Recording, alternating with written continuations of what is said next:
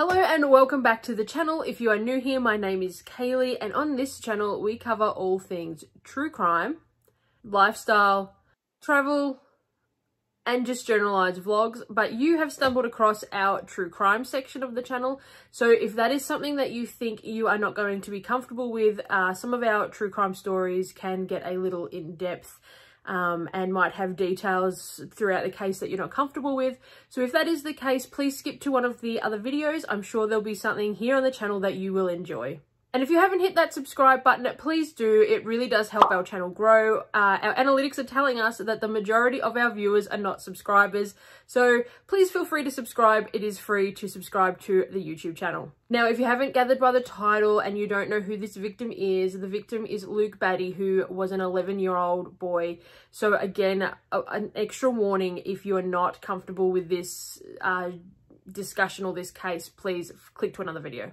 This story starts with Rosie Batty, who was born in 1962 in Nottinghamshire in England.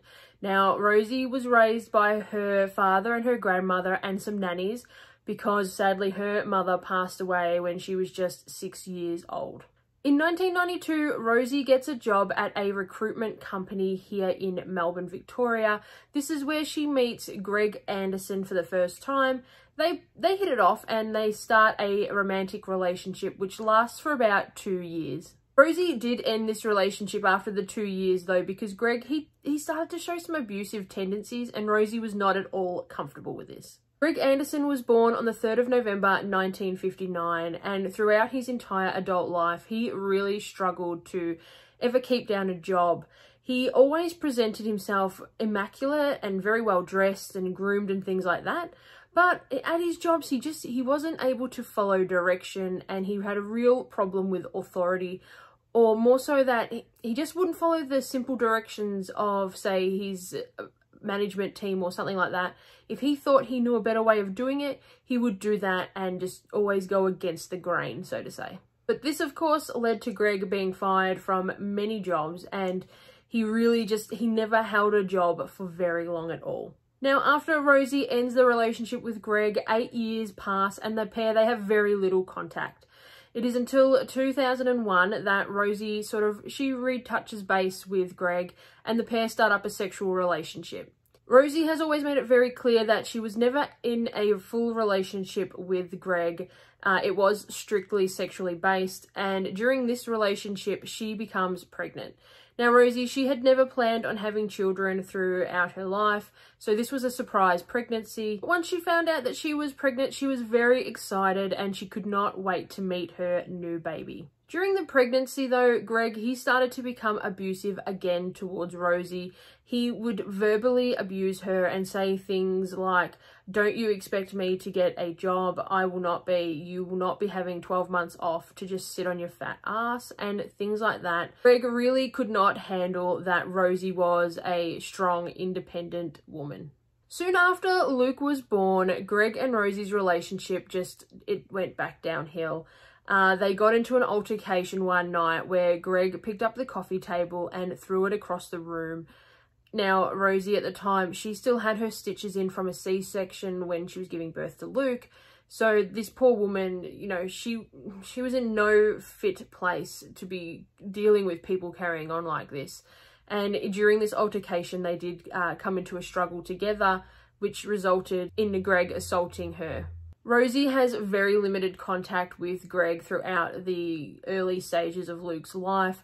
He does have a relationship with Luke at this point, but it's very, very simple and restricted. Now, in 2004, Rosie and Greg have another physical altercation that was documented.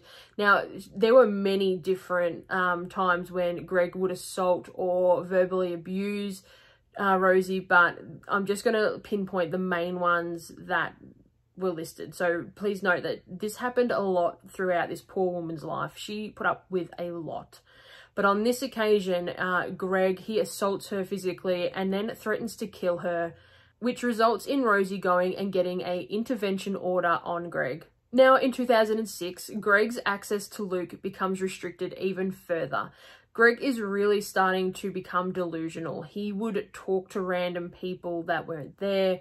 He would fly off the handle very easily. He just he wasn't a stable person. At this stage, he's still unable to hold down a job, which is now resulting in him living in his car or staying at friends' houses.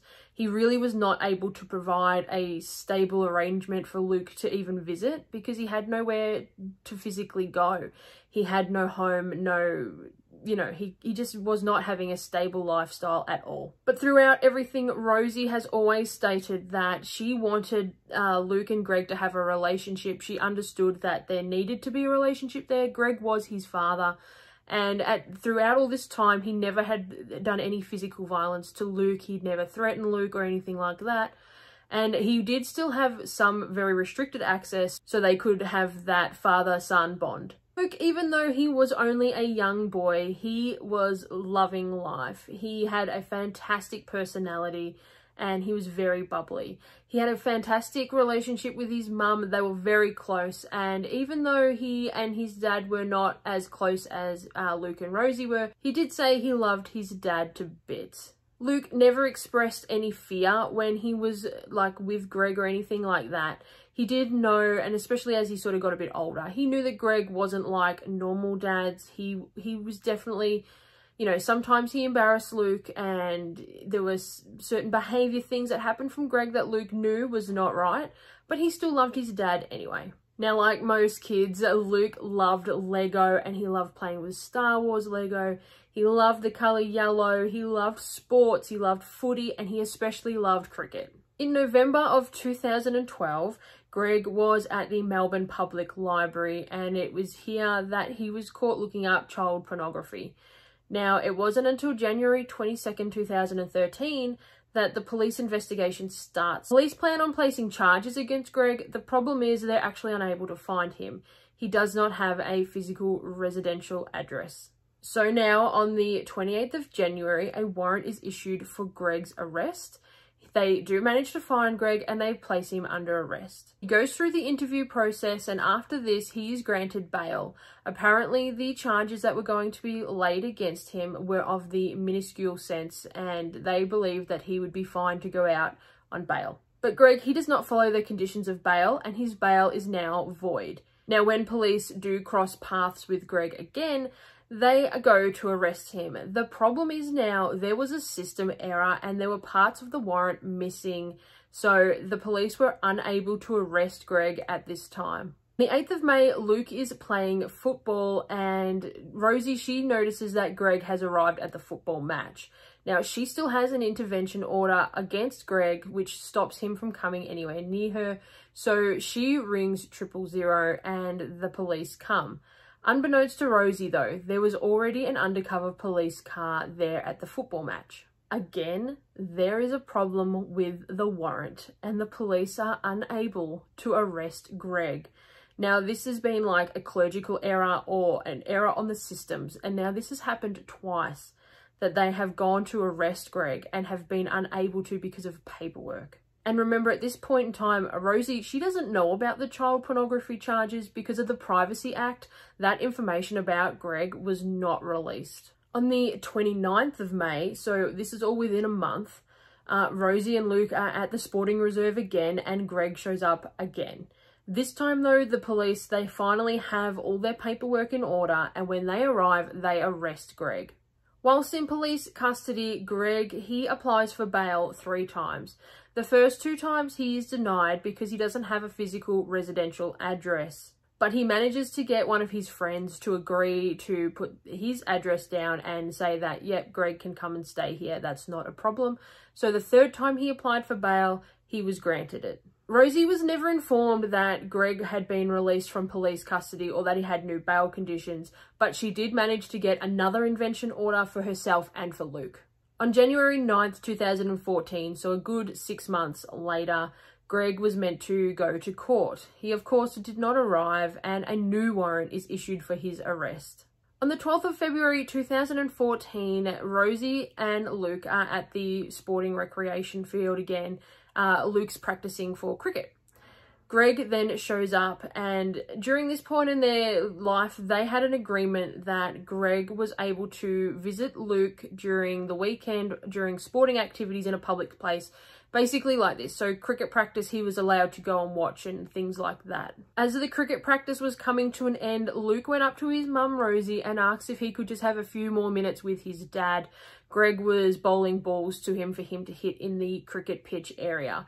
Rosie said that was fine because she was there. She was able to watch everything. There were other parents there. You know, she didn't see any intimate danger coming. At 6.30pm though, as all the other parents are starting to leave, Rosie hears this horrible sound.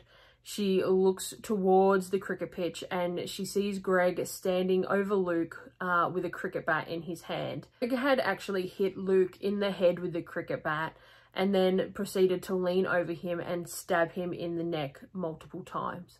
Of course, poor Rosie, she panics and she starts screaming for someone to please call an ambulance and the police. But while this is happening, she doesn't realise what has actually happened. She just sees Luke on the ground with Greg uh, sort of over the top of him. She, at this point, uh, thinks that it's all been like a big accident, but Luke is injured.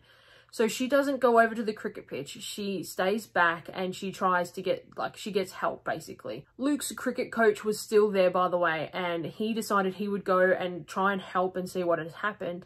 He, as he gets closer to the cricket pitch, Greg starts telling him to stay away, keep back. Uh, the cricket coach, he asks Greg, what's happened? Is everything okay? Is Luke okay? And Greg tells the cricket coach, yes, it's fine. Everything's fine now he's going to go to heaven. Now the paramedics, they arrive by 6.45pm, but they're unable to get to Luke. Greg is now standing there with the knife in hand and not allowing anyone to go anywhere near Luke or come close to the situation. The police arrive by 6.50 and they are starting to assess the situation. They can see what's happening. They understand that Greg is now preventing Luke from getting any help. So they they head straight towards Greg, obviously, as they would. That's their job. They're, they're there to help the situation.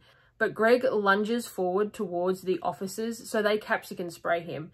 But with the wind coming across and things like that, it just wasn't enough prevention. And Greg again goes towards the officers with the knife in hand. It's at this point that one of the officers shoots Greg in the chest. Now, unfortunately for Luke, the paramedics did declare that he was deceased at the scene and Greg was also flown to the Alfred Hospital for emergency surgery, but he was declared deceased upon arrival. Throughout investigations after this horrific event, uh, people started to say they believe that Greg had planned this as sort of a murder-suicide via the police option.